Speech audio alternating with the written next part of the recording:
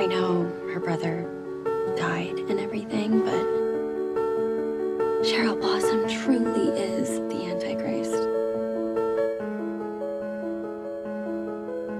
If you personally need anything, I'm fine. Don't worry. I'm fine. I've shed my tears for Blossom Men. In fact, I'm amazing. But Cheryl dropped a glove in the water, and Jason reached down to get it, and accidentally tipped the boat and drowned. That's because some people already got to say goodbye to Jason while rowing him across the river to his death. you ready? I'm so sorry, JJ. In fact, we made it to the other side dry as bones.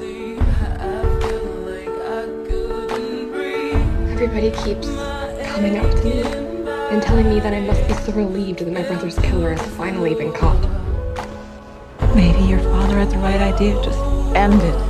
Let Penelope and Clifford Blossom do their worst. They will. They'll kill me.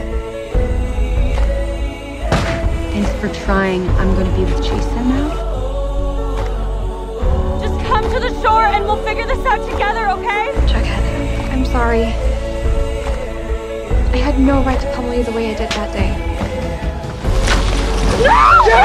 People hate me, Archie. And at school, that's fine, whatever. This is my family. What is that smell? Gasoline. It's the only way we can truly start over.